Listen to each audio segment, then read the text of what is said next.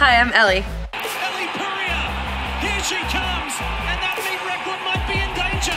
419.89, Purrier 416.86. She's done it. Elle Purrier, new American record.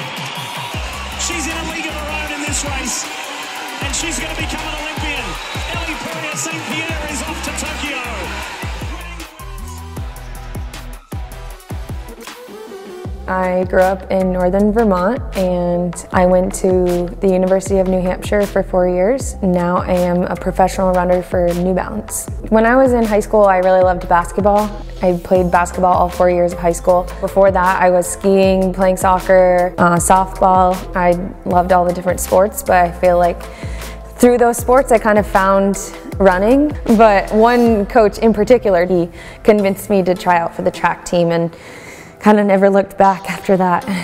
It's a passion and it's what I love to do now. It's given me some of my very best friends. I get to be on this team now with some of the best runners in the world and we make each other better. You know, like yeah, we're competitive, but we we know that deep down we love each other and we're best friends. We just push each other every day. I also had another coach in high school who was a history teacher at Richford. He's definitely been a huge mentor of mine. I still talk with him pretty often. He's really the one that helped me fall in love with the sport and he helped me find a lot of similarities between running and farming. That's kind of how he helped me transition, you know, into a runner. The cows need to get milked every single day and twice a day at least, usually three times. And yeah, really similar to running where I have to train every day. Definitely the, the long days on the farm are really different, kind of tired than being tired on the track. But gosh, I really don't know which is harder.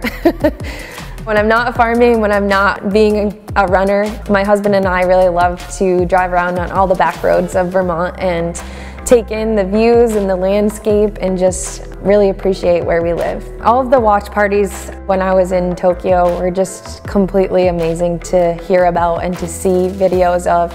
I felt so much love when I was in Tokyo all the way across the world and I still felt all the support from here and it just meant that I was running for them, not just myself. I was running for my family and all of Vermont and it just meant the world to me that I had all of that support.